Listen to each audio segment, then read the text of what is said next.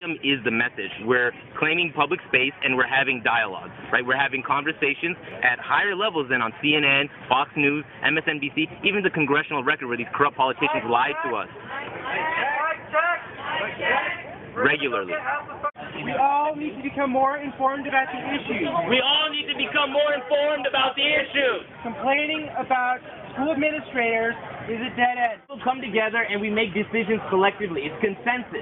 If one person disagrees, it doesn't happen. It's We're organizing students to um, affect change, raise the level of dialogue, and um, get an understanding of what it is that this system, whatever that means, means.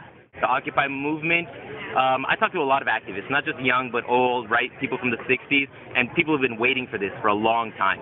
This is what people have been waiting for in terms of organizing the masses of people that have heretofore not been organized to really defend themselves, right? The 1% and the 99%. The 1% have airplanes and yachts, the 99% don't. The 1% write the laws, the 99% should write the laws. How is it that the 1% have gotten so much control over our society? It's because the 99% aren't organized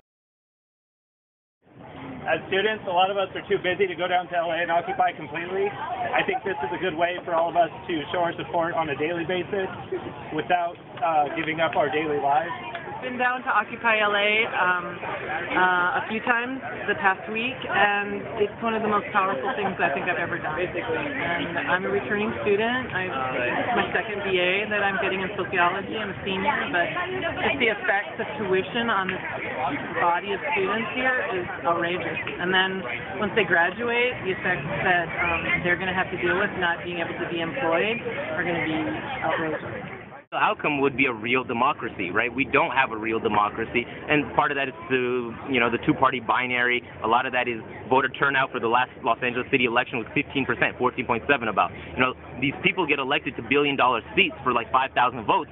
You know, there's too much money in politics in terms of how our how our system operates and capitalism itself. If you have capital, if you have wealth, you use it to gain more wealth, and you can use it to gain policy. Right? You can write policy that writes yourself more money, and that's a fundamental thing about this movement.